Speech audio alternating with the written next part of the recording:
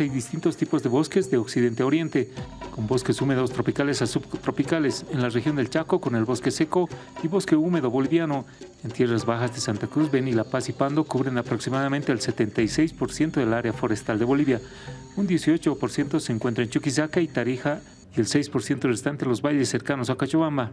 La colonización de zonas en el oriente del país provoca la deforestación de bosques, por lo que autoridades trabajan en proyectos para que estos grupos puedan mantener intacto parte del bosque donde existen asentamientos humanos. Les proponemos a ellos que si han sido dotados de 50 o 100 hectáreas, de estas 50 o 100 hectáreas, al menos el 10% la dejen sin tocar con un plan de manejo forestal. ¿Qué significa un plan de manejo forestal? Significa que nosotros hacemos un censo de ese 10% de todos los productos maderables y no maderables y planificamos explotar cada unidad de esa planificación en un tiempo que permita la recuperación del bosque de manera natural.